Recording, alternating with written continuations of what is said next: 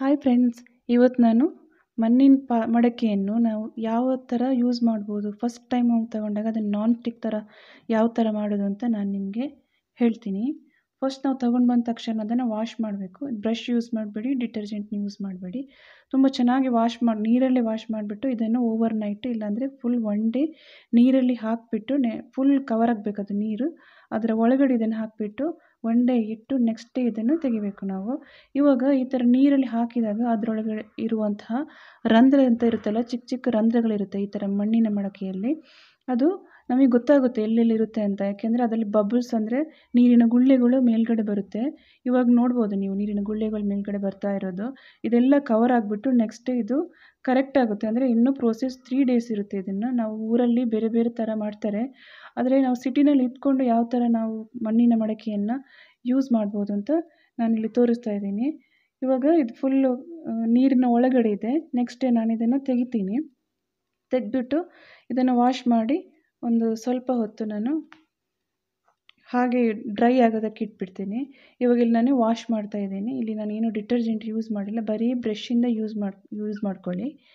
ಈ ಥರ ಒಂದು ಎರಡು, ಮೂರು ಸಲ ಹಾಗೆ ತೊಳೆದ್ಬಿಟ್ಟು ನೀರನ್ನು ತೆಗೀರಿ ಈ ಥರ. ಎಲ್ಲ ಕಡೆ ಚೆನ್ನಾಗಿ ತೊಳೆಯಿರಿ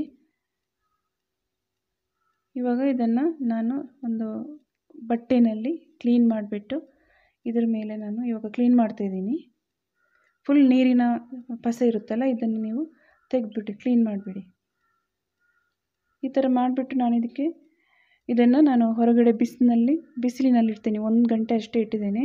ತುಂಬ ಜಾಸ್ತಿ ಬಿಸಿಲಿದ್ದರೆ ಒಂದೇ ಸ್ವಲ್ಪ ಹೊತ್ತು ಸಾಕು. ಇವಾಗ ನಾನು ಬಿಸಿಲಿಟ್ಟು ಕ್ಲೀನ್ ಮಾಡಿದ್ದೀನಿ. ಇವಾಗ ಚೆನ್ನಾಗಿ ಬಂದಿದೆ ನೋಡಿ ಆಲ್ರೆಡಿ ಇವಾಗ ನಾನು ಇದಕ್ಕೆ ಕೋಕೋನಟ್ ಆಯಿಲನ್ನು ಹಾಕಿ ಫುಲ್ ಕವರ್ ಕವರ್ ಮಾಡ್ತೇನೆ. ಅಂದರೆ ಫುಲ್ಲು ನಾವು ಹಿಂದ್ಗಡೆನೂ ಮತ್ತು ಅದರ ಒಳಗಡೆನೂ ನಾವು ಕೊಕೊನಟ್ ಆಯಿಲ್ ಆಯಿಲ್ ಹಾಕ್ಕೊಂಡ್ಬಿಟ್ಟು ಇದನ್ನು ಡ್ರೈ ಆಗೋದಕ್ಕೆ ಹಾಗೆ ಇಡಿ.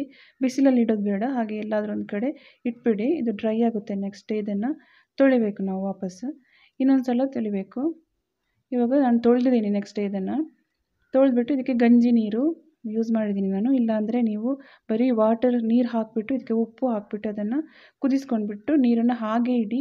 ಒಂದೇ ಅದನ್ನು ಅದೇ ಥರ ಇಟ್ಬಿಡಿ. ಇವಾಗ ಇದು ಕುದೀತಾ ಬಂತು, ಇವಾಗ ನಾನು ಆಫ್ ಮಾಡ್ತೀನಿ. ಆಫ್ ಮಾಡಿಬಿಟ್ಟು ಹಾಗೆ ಇಡ್ತೇನೆ ನಾನು ಒಂದಿನ. ಇವಾಗ ನೆಕ್ಸ್ಟ್ ನೆಕ್ಸ್ಟ್ ಡೇ ಇದಕ್ಕೆ ನಾನು ಡ್ರೈ ಆದಮೇಲೆ ಇದಕ್ಕೆ ಒಂದು ಸ್ವಲ್ಪ ತೆಂಗಿನ ಎಣ್ಣೆ ಹಾಕಿಬಿಟ್ಟು ಒಂದು ಆನಿಯನ್ನ ಕಟ್ ಮಾಡಿ ಹಾಕಿ ಫ್ರೈ ಮಾಡ್ತೇನೆ. ಇದು ಜಾಸ್ತಿ ಫ್ರೈ ಫ್ರೈ ಮಾಡಿಬಿಡಿ. ಅವಾಗೆಲ್ಲ ಮಣ್ಣಿನ ಸ್ಮೆಲ್ ಇರುತ್ತಲ್ಲ, ಅದೆಲ್ಲ ಹೋಗಿಬಿಡುತ್ತೆ. ಕರೆಕ್ಟಾಗಿ ಆಮೇಲೆ ನಾವು ಇದನ್ನು ತುಳ್ಕೊಂಡು ಯೂಸ್ ಮಾಡ್ಬೋದು.